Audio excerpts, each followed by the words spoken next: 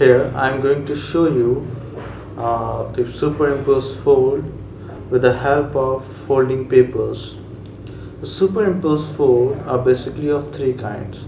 Type 1 dome and basin, type 2 boomerang or mushroom fold and type 3 hook shape or divergent convergent divergent interference fold. Although there is also a kind of superimposed fold uh, that is known as type 0 fold because it is hard to trace a fold of type 0 because we don't know. Sometimes they don't uh, even leave behind any trace that they have undergone two phase of deformation for they are actually a superimposed fold. So that's why we call them type 0 fold. So at first i'm going to show you type 0 fold. Suppose this is a rock layer this paper this is the fold that I am going to show you with the help of paper. Suppose a deformation in a rock bed caused the formation of fold like this. Now a second deformation was parallel to the first deformation and it caused the formation of fold like this.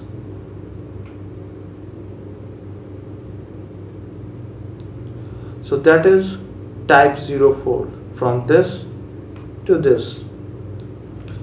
Although it is very sometimes uh, impossible to trace whether it is by a single phase of deformation or two phase of deformation or more than two phase of deformation are, uh, are involved in this so that's why we call them type 0 fold. After giving the type 0 fold here I am going to discuss type 1 fold. Type 1 fold is also known as dome and basin fold or egg carton fold because collectively they look like a carton of egg. Okay? Here we have domes and basins. Okay? A single dome is surrounded by four basins and single basin is surrounded by four domes. Okay? So suppose this is the rock layer.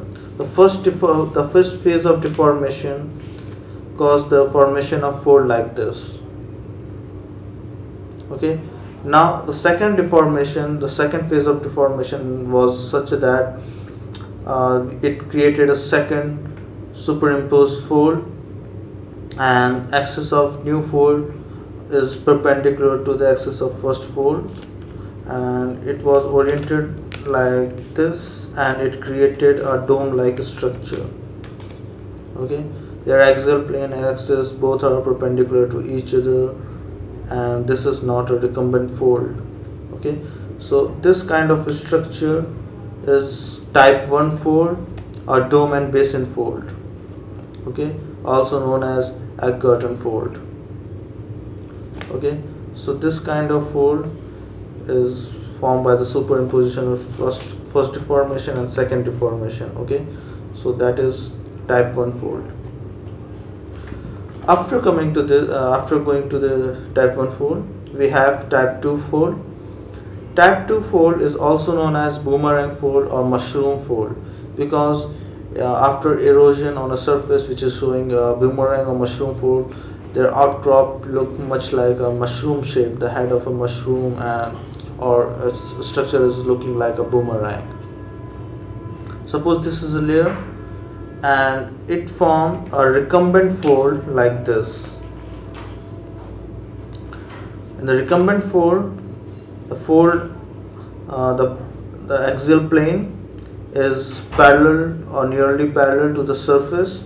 So the fold must be like this. Okay, this is limb 1, this is limb 2.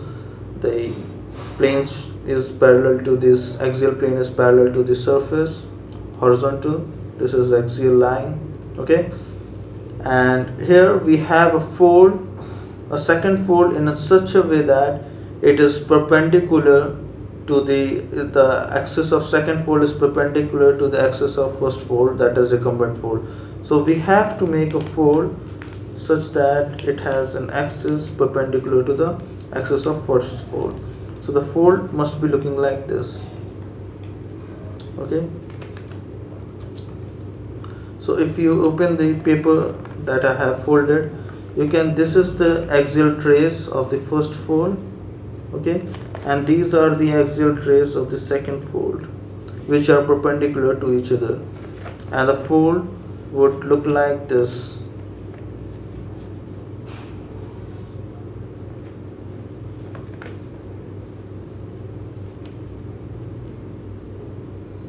Okay and at last I'm going to discuss type 3 fold or known as hook shaped fold or zigzag fold convergent divergent interference fold. Okay?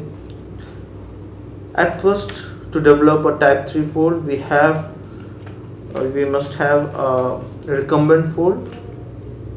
Okay? So this is recumbent fold whose axial plane is parallel to the uh, surface or horizontal plane. Okay so the recumbent fold must look like this. This is limb 1 this is limb 2 its axial plane is per, uh, parallel to the surface.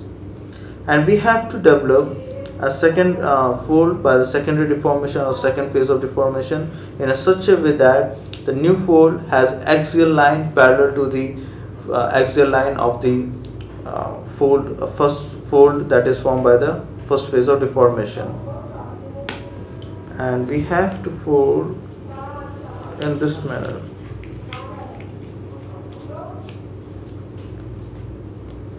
Okay? So the fold should be looking like this. Okay? This is the at first this was the recumbent fold and second forms of form of deformation phase of deformation caused the formation of fold like this. Okay?